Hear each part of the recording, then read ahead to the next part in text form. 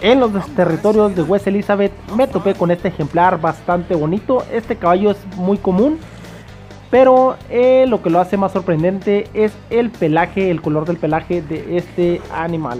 Este es un Nocota ruano azul y como lo dice el nombre es porque tiene el pelaje de un tono azulesco. Por aquí ahorita se los voy a mostrar más cerca para que logren apreciar.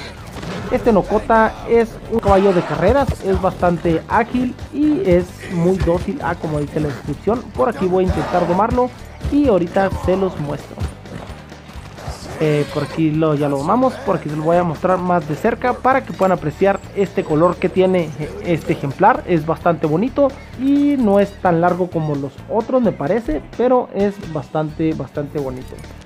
Pues por aquí les voy a dejar la ubicación de este Nocota azulejo, como también lo podemos encontrar por si quieren venir por él y por si les interesa. Al parecer hay como unas tres ubicaciones donde podemos encontrar este caballo azul y pues por aquí les voy a dejar esta por si les interesa venir por este, ya sea para conservarlo o ya sea para venderlo. Por aquí les dejo esta ubicación.